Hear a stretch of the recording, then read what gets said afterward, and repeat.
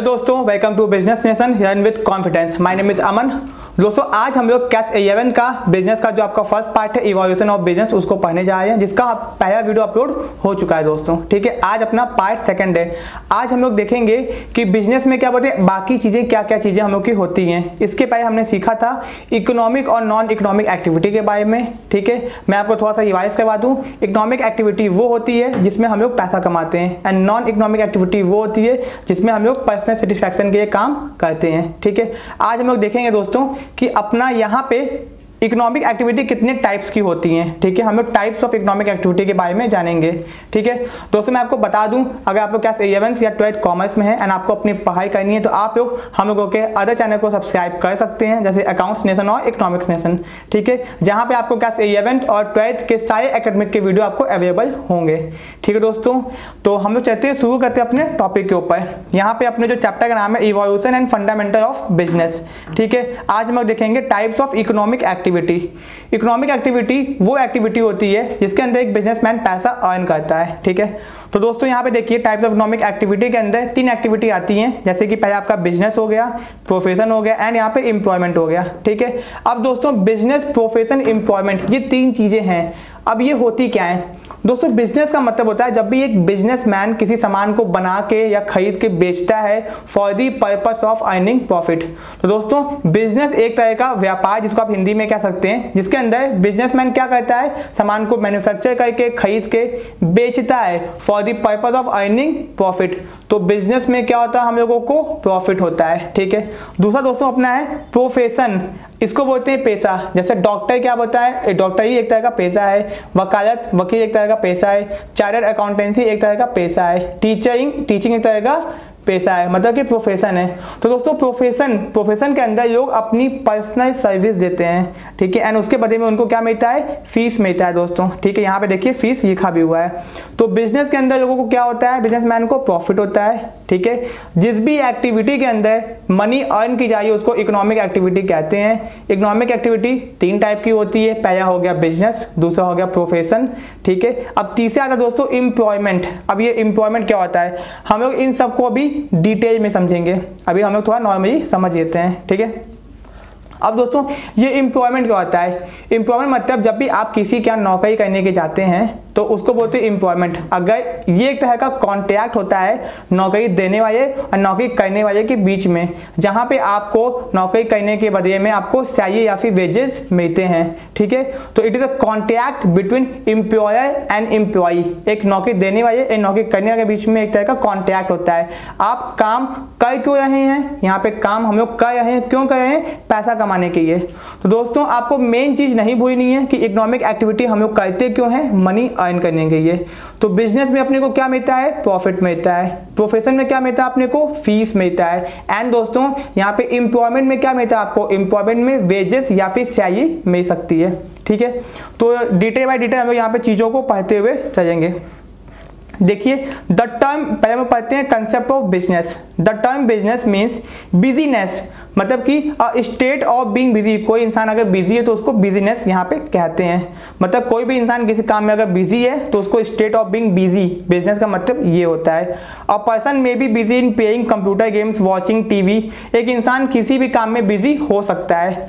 However, in such cases, he will not doing any business या फिर economic element इसके अंदर इकोनॉमिक एलिमेंट मिसिंग है दोस्तों. मतलब एक इंसान कोई भी काम कर रहा है बट यहाँ पे जो एग्जांपल दिया गया कि कंप्यूटर गेम खेल रहा है टीवी देख रहा है तो इकोनॉमिक एलिमेंट मिसिंग है यहाँ पे. क्या मिसिंग है दोस्तों? यहाँ पे मिसिंग ये है कि वो पैसा नहीं अर्न कर रहा ठीक है? तो so business means a state of being busy in economic activity अगर कोई भी इंसान इकोनॉमिक एक्टिविटी के अंदर बिज़ी है तो इसका मतलब कि वो क्या हो गया? आपका बिज़नेस हो गया। ठीक है? यहाँ पे वो पैसा कमा रहा है। ठीक है? तो अब यहाँ पे एक मीनिंग बताई गई। यहाँ पे इसको हम लोग देखते हैं। ये आप लोग को पढ़ना पाइए उतना कोई इंपॉर्टेंट नहीं है, ठीक है? जो लोग जानना चाहते हैं, मैं आपको बता दूँ क्या सेवंथ में एक राइटर है, संदीप गर्ग। उनकी बुक है ये एंड ये बहुत अच्छी बुक है, आप लोग इस बुक को रिफर कर सकते हैं अपने पढ़ाई के लिए, ठीक है?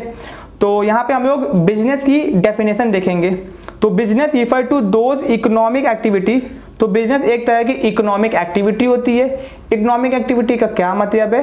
वो एक्टिविटी जहाँ जिसको कोई इंसान करके पैसा कमाया है विच आर कनेक्टेड विद जो कि कनेक्टेड है प्रोडक्शन जिसके अंदर किसी न किसी चीज़ का प्रोडक्शन किया जाया है। परचेज खरीदा जाया है सेल बेचा जाया है सप्लाई ऑफ़ सर्विसेज़ मतलब सर्विसेज़ को भी सप्लाई की जाइए with the main aim of earning profit जहाँ पे मेन ऑब्जेक्टिव या एम क्या है आपका? अर्निंग प्रॉफिट तो अब हम लोग समझते हैं business is a type of economic activity in which there is some sort of production किसी भी चीज़ का प्रोडक्शन हो रहा है, ठीक है? परचेज का है सेल का है, सामान का या फिर सर्विस का। मेन एम क्या है अपना? प्रॉफिट कमाना। तो दोस्तों, मैं आपको यहाँ पे एक बात बताना चाहता हूँ। आप लोग आप इलेवेंथ कॉमर्स में आ चुके हैं। तो एक बात का ध्यान रखिएगा, जब भी यहाँ पे गुड्स की बात की जाएगी तो गुड्स के साथ में हमेशा सर्विस भी होगा। बिज़नेस के अंदर केवल सामान को ही नहीं बेचा जाता है सर्विस को भी बेची जाती है। तो जहाँ जहाँ आपके पास गुड्स वर्ड आएगा तो ये समझ जाएगा कि सर्विस भी साथ में है। तो बिज़नेस एक तरीके की इकोनॉमिक एक्टिविटी होती है, जिस एक्टिविटी के अंदर एक बिजनेसमैन सामान को बनाता है, बेचता है, खरीदता है which the main aim of earning profit उसको मिलता है क्या बदले में? प्रॉफिट मिलता है, ठीक है? तो हम लोग समझ गए। जैसे कि in business earn income in the form of profit उसको मिलता है। एग्ज़ाम्पल फ़ार्मिंग हो गया मैन्युफैक्चरिंग हो गया फिशिंग हो गया एक्सेट्रा तो ये आपका बिज़नेस हो गया, ठीक है? तो यहाँ पे दस बिज़नेस इज़ सम टोटल और गेनफुल ह्यूमन एक्टिविटी अगर कोई भी ह्यूमन एक्टिविटी जो कि गेनफुल है, उसको बिज़नेस कहा जा सकता है। विच एम सेट जिसके अंदर आप लोग क्रिएट कुछ बनाया है एक्सचेंज किया है possesses wealth in the form of physical output and useful services ये इतना खास नहीं है दोस्तों। मीनिंग आपने पाई business is an time of economic activity जिसके अंदर production purchase sale with the aim of earning profit ठीक है? अब दोस्तों हम लोग आगे आते हैं। यहाँ पे देखते हैं कैरेक्टरिस्टिक्स ऑफ़ बिज़नेस अब देखते हैं कैरेक्टरिस्टिक्स का मतलब क्या होता है कि बिज़नेस के फीचर क्या हैं? ठीक है? तो पहला फीचर है कि बिज़नेस एक तरीके की इकोनॉमिक एक्टिविटी है। अब इकोनॉमिक एक्टिविटी तो पता ही है अपने को। एक ऐसी एक्टिविटी जो कि हम लोग करते हैं for the purpose of earning profit ठीक है? दूसरा प्रोडक्शन और procurement of goods and services जिसके अंदर एक बिजनेसमैन सामान को प्रोड्यूस या फिर प्रोक्योर कर रहा है, ठीक है? सामान को प्रोड्यूस मतलब बना रहा है मैन्युफैक्चर कराया ठीक है? या फिर खरीद के बेच रहा है, ठीक? तीसरा पॉइंट अपना सेल और exchange of goods and services जिसके अंदर सामान को सेल मतलब बेच रहा है या फिर एक्सचेंज कर रहा है गुड्स एंड सर्विसेज़ का, ठीक है? उसके बाद dealing in goods and services on regular basis मतलब कंटिन्यू हर दिन के बेसिस पे वो सामान को खरीदता, बेचता है। अगर मैंने आज सामान खरीदा, आज बेचा प्रॉफिट कमाया तो ये बिज़नेस नहीं है। मुझे एक रेगुलर टाइम पीरियड के अंदर बिज़नेस करना होगा, तभी वो बिज़नेस कहलाएगा, सामान को खरीदेंगे या फिर बेचेंगे, ठीक है? प्रॉफिट अर्निंग भैया बिज़नेस के अंदर मेन आपको क्या होगा? प्रॉफिट प्रॉफिट मतलब मुनाफा होगा, ठीक है? अनसर्टेनिटी ऑफ़ रिटर्न इसका मतलब कि जो आपको रिटर्न मतलब जो प्रॉफिट मिल रहा है दोस्तों, वो कोई कंफर्म नहीं है कि आपको सर्टेन होगा। हर महीने बीस हज़ार बीस हज़ार बीस हज़ार, क्योंकि बिज़नेस है। कभी कम, कभी ज़्यादा आपको मिलेगा ही मिलेगा। तो जो रिटर्न आपको प्रॉफिट हो रहा है, वो कभी कम या तो कभी ज़्यादा मिल सकता है। एलिमेंट ऑफ़ रिस्क दोस्तों, ये बहुत कॉमन सी बात है कि किसी भी बिज़नेस के अंदर रिस्क ना हो, ऐसा नहीं हो सकता। रिस्क का मतलब क्या होता है? रिस्क का मतलब कि आपको फ़ायदा भी हो सकता है, आपको नुकसान भी हो सकता है, ठीक है? तो बहुत लोगों को लगता है रिस्क का मतलब होता है नुकसान। ऐसा नहीं है दोस्तों। रिस्क का मतलब होता है, या तो आपको बेनिफिट होगा, या तो आपको लॉस होगा, ठीक है? फ़ायदा भी हो सकता है और नुकसान भी हो सकता है।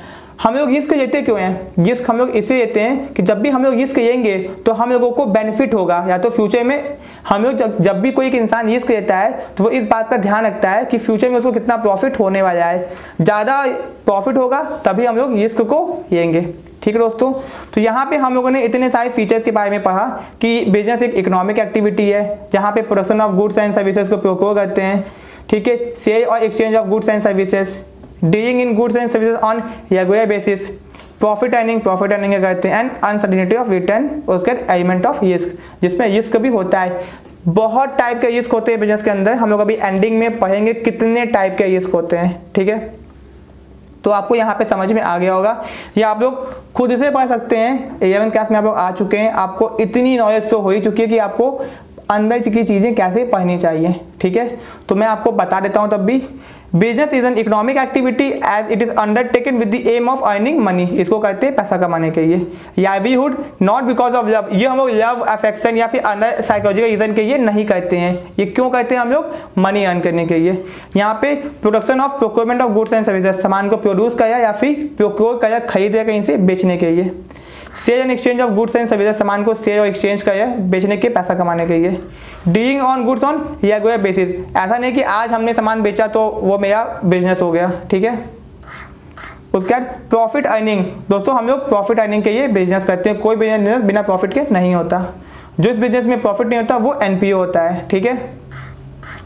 अनसर्टिनिटी ऑफ़ रिटर्न दोस्तों बिज़नेस के अंदर हमेशा अनसर्टिनिटी होती है मतलब कि रिटर्न आपको हर महीने फिक्स नहीं मिलेगा। ठीक है दोस्तों? एलिमेंट ऑफ़ रिस्क बिज़नेस में रिस्क होता है रिस्क बहुत टाइप के होते हैं। तो अभी जैसे आग लग गई, चोरी हो गई नेचुरल रिस्क ह्यूमन रिस्क तो वो सब अभी हम लोग आगे देखेंगे कितने टाइप के रिस्क होते हैं। ठीक है? तो दोस्तों, हम लोग ने बिज़नेस क्या होता है, पढ़ लिया एक इकोनॉमिक एक्टिविटी के बारे में। अब देखते हैं प्रोफेशन क्या होता है। ठीक है दोस्तों? अब देखते हैं प्रोफेशन क्या होता है यहाँ पे। ठीक है दोस्तों? तो देखिए यहाँ पे दोस्तों profession include those activity which require special knowledge and skill to be applied by individual in the occupation to earn fees ये बात तो कंफर्म है कि प्रोफेशन में हम लोग फ़ीस अर्न करते हैं बिज़नेस में प्रॉफिट अर्न करते हैं। अब ये प्रोफेशन होता क्या है?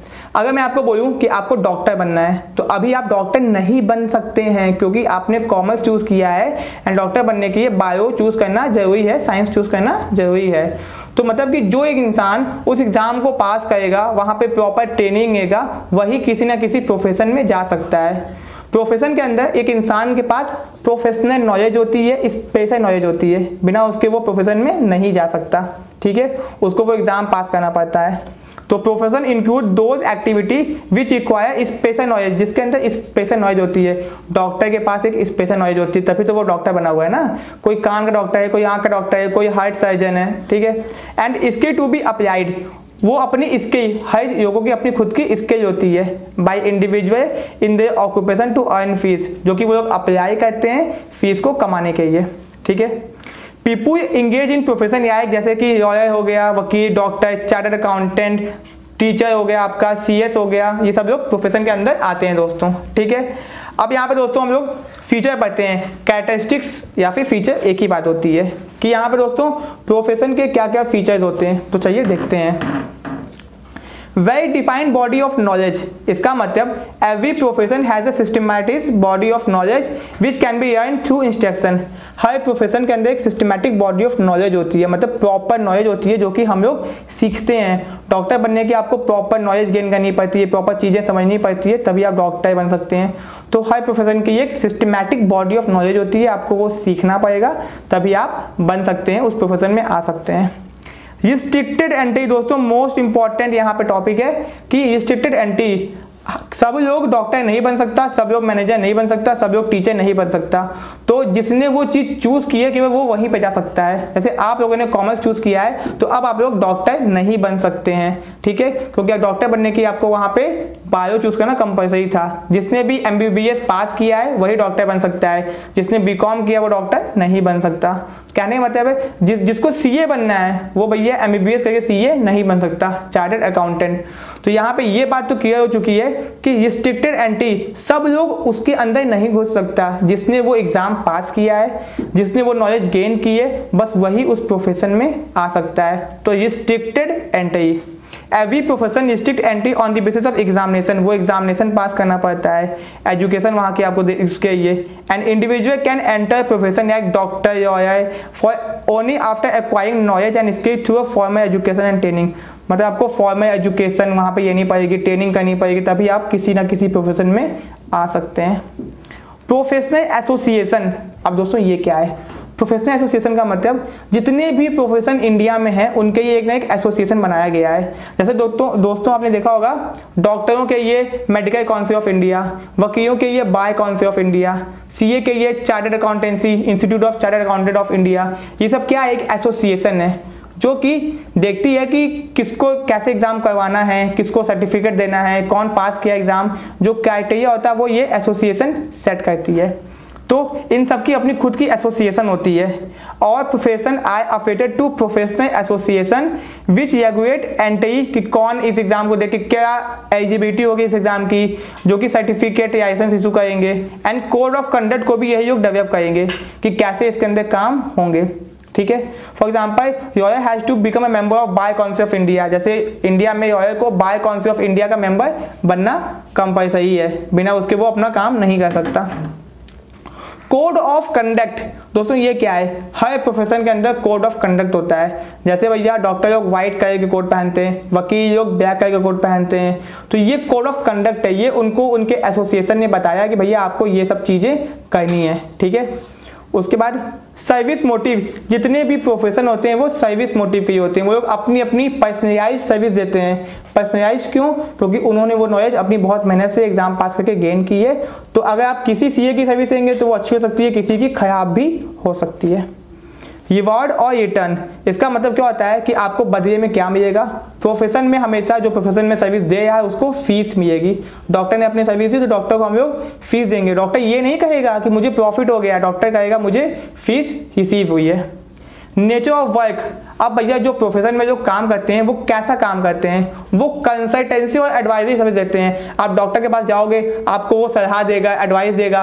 वकील के पास जाओगे तो आपको सलाह देगा एडवाइस देगा। तो वो आपको कंसल्टेंसी और एडवाइजरी सर्विस देंगे, जिसमें आप लोग, वही उनका काम होता है। ठीक है? तो आप लोग ये भी समझ गए होंगे दोस्तों। ठीक है? बहुत ही आसान है, कुछ कठिन नहीं है इसके अंदर। अब हम लोग देखते हैं दोस्तों एम्प्लॉयमेंट ये क्या होता है? दोस्तों, ये हम लोग इकोनॉमिक एक्टिविटी के बारे में पढ़ रहे हैं। एम्प्लॉयमेंट एक तरीके का कॉन्टैक्ट होता है एम्प्लॉयर और एम्प्लॉय के बीच में, नौकरी देने वाले और नौकरी करने वाले के बीच में, ठीक है? तो अब ये क्या होता है? इसके अंदर नौकरी देने वाला एम्प्लॉय को काम पे रखता है, काम करवाता है, जो भी उसके ऑफ़िस का काम हो सकता है एंड उसको बदले में उसका पैसा देता है। पैसा देता है in the form of salary या फिर वेजेस वेजेस मजदूर को दिया जाता है सैलरी दोस्तों दिया जाता है एम्प्लॉय को। इस बात का ध्यान रखिएगा। ये मत कहिएगा कि भैया एम्प्लॉयमेंट के अंदर वेजेस मिलती है एम्प्लॉयमेंट के अंदर आपको सैलरी मिलती है। तो एम्प्लॉयमेंट एक तरह का ऑक्यूपेशन है, ठीक है? In which people work for other लोग दूसरों के काम करते हैं। एंड गेट रेमुनरेटेड बदले में उनको पैसा मिलता है। रिटर्न में in the form of salary या फिर वेजेस के फॉर्म में, ठीक है? तो दोज हुआ employed by other known employ जैसे कि मैनेजर क्लर्क पियोन एंड जिसने नौकरी दी है, उनको एम्प्लॉयर्स कहते हैं। बस दोस्तों, यहाँ हम लोग इसका फीचर पा लेते हैं, उसके बाद हम लोग आज का टॉपिक को एंड कर देंगे, ठीक है? कैरेक्टरिस्टिक्स ऑफ़ एम्प्लॉयमेंट पहला है कॉन्टेक्चुअलाइजेशन दोस्तों, ये एक तरह का कॉन्ट्रैक्ट होता है, किसके बीच में? नौकरी देने वाले के और नौकरी करने वाले के बीच में एम्प्लॉय और एम्प्लॉय के बीच में, जिसमें एम्प्लॉय एक कॉन्टैक्ट बनाता है एम्प्लॉय के लिए कि वो काम क्या करेगा, कितना पैसा मिलेगा, चीज़ें क्या होंगी, सब कुछ उसके अंदर डिफाइन होता है, ठीक है? तो employment is the outcome of contract जो एम्प्लॉयमेंट होता है, वो कॉन्टैक्ट होता है एक तरह का, ठीक है? By the between the employee and the employee employer और एम्प्लॉय के बीच में। The contract may be return और ओ आई दोस्तों, यहाँ पर लिखा तो हुआ है ओ आई बट कॉन्टैक्ट जो होता है वो रिटर्न फॉर्म में ही ज़्यादा सूटेबल और सही माना जाता है। कहीं भी आप काम करते हैं तो हमेशा कॉन्टैक्ट रिटर्न फॉर्म में होगा तो ज़्यादा सही होगा। इट कंसिस्ट जिसके अंदर टाइम्स एंड कंडीशन होते हैं इंप्लॉयमेंट के, कि कितना पैसा मिलेगा, कितना टाइम अवर होगा, काम क्या होगा, ये सब चीज़ें। रिवॉर्ड और रिटर्न आपको क्या मिलेगा बदले में? तो दोस्तों, आपको बदले में क्या मिलेगा? आपको सैलरी या फिर वेजेस मिलेगा आपके काम करने के बिहाव पे, ठीक है? नेचर ऑफ़ वर्क आपको काम कैसा करना होगा? जो काम आपको एम्प्लॉय आपका देता है, वो काम करना पड़ेगा। कैपिटल इन्वेस्टमेंट क्या आपको किसी तरह का कैपिटल इन्वेस्टमेंट करना पड़ेगा? नहीं इंप्लॉयमेंट के अंदर किसी भी तरीके का कैपिटल इन्वेस्टमेंट नहीं करना पड़ता है। कोड ऑफ़ कंडक्ट कैसे आपको काम करने का तरीका बताया जाएगा? हाँ जो आपको नौकरी दिया है, वो आपको काम करने का कंडक्ट कोड ऑफ़ कंडक्ट बताएगा कि इस काम को इस तरीके से करना है। क्वालिफिकेशन क्या इस काम को करने के लिए, क्या नौकरी करने की कोई क्वालिफिकेशन चाहिए? तो मिनिमम क्वालिफिकेशन चाहिए उस जॉब के हिसाब से जो आप करने जा रहे हैं। अगर मान लीजिए किसी कंपनी में किसी को अकाउंटेंट की ज़रूरत है, उसको एम कॉम पास चाहिए मतलब कैंडिडेट तो भैया आपको एम कॉम पास होना पड़ेगा, तभी आप उस जॉब में अप्लाई कर सकते हैं। तो कहने का मतलब है क्वालिफिकेशन चाहिए, उस जॉब की क्या रिक्वायरमेंट है, उसके हिसाब से जो कि एम्प्लॉयर डिसाइड करेगा। ठीक है? तो दोस्तों, हम लोगों ने आज पढ़ा इकोनॉमिक एक्टिविटी के बारे में, उसके टाइप्स के बारे में, कि क्या होती है उसके टाइप्स ठीक है? इसके पहले का वीडियो आप लोग ज़रूर देखिएगा। उसमें मैंने बताया है कि ह्यूमन एक्टिविटी इकोनॉमिक और नॉन इकोनॉमिक के बीच में डिफरेंस एंड उनके बारे में। आज हमने टाइप्स ऑफ़ इकोनॉमिक एक्टिविटी के बारे में पढ़ाई की है, ठीक है? हम लोग के जो वीडियोस दोस्तों होते हैं, वो उसके साइज़ एंड क्वालिटी बहुत कम होती है। क्वालिटी इन द सेंस कि हम लोग कंटेंट बहुत कम रखते हैं, जिससे कि आप लोग चीज़ों को आराम से समझ जाएँ। एक ही लेक्चर के अंदर सारे टॉपिक आपको पढ़ाएँगे तो बर्डन आपके ऊपर ज़्यादा बढ़ जाएगा। आप लोग जिस भी स्कूल में पढ़ते हैं, किसी भी बोर्ड में हैं, अगर आपका बिज़नेस सब्जेक्ट है तो आपको ये बहुत फ़ायदा करेगा। सीबीएसई बोर्ड के स्टूडेंट जितने भी हैं, उनको ये वीडियो बहुत बेनिफिट करेगा। अगर आपके स्कूल में पढ़ाई नहीं हो पाई है तो आप लोग इसको देख के अपने सिलेबस को आगे कवर कर सकते हैं। दोस्तों अकाउंट्स और इकोनॉमिक्स के लिए आप लोग हम लोगों का बाकी चैनल सब्सक्राइब करिए, जिसका लिंक डिस्क्रिप्शन में दिया गया है। एंड बने रहिए हम लोग के साथ। आपका सिलेबस बहुत अच्छे एंड आपके स्कूल से बहुत अच्छे तरीके से कंप्लीट करवा दिया जाएगा दोस्तों एंड इसके बाद का वीडियो बहुत जल्दी आएगा। तो मिलते हैं अपने नेक्स्ट वीडियो में। वीडियो पसंद आया तो वीडियो को लाइक चैनल को सब्सक्राइब ज़रूर कर दीजिएगा। Thank you so much